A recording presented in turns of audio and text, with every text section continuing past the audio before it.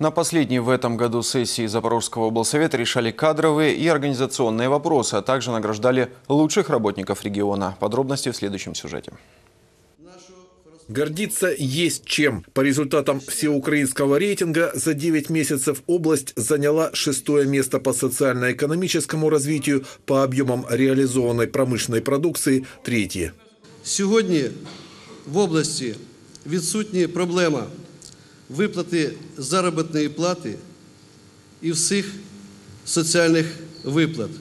Лучших работников региона награждают прямо в сессионном зале. Утверждают, кадровые назначения вносят изменения в региональные программы и областной бюджет. Большинство вопросов принимают пакетным голосованием. Отдельно рассматривают ликвидацию противотуберкулезных диспансеров в Васильевке, Вольнянске, Гуляйполе и Пологах, построенные в 70-х и тогда же укомплектованные. Сегодня, по сути, они оказались лишней стадией между кабинетами в ЦРБ и областным диспансером.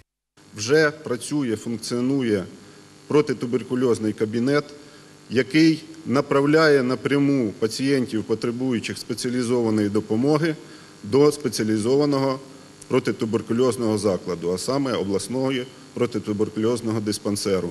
Ни один пациент не находится на лечении в межрайонных диспансерах и тем более в ЦРБ.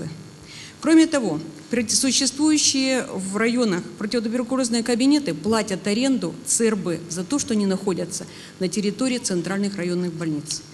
Поэтому передача кабинетов в ЦРБ, во-первых, приблизит са- самих пациентов к оказанию медицинской помощи, укоротит маршрут, по которому вот идет пациент, Вопросы трудоустройства врачей из ликвидированных диспансеров, утверждают, решены. Также на сессии были заслушаны годовые отчеты нескольких коммунальных предприятий.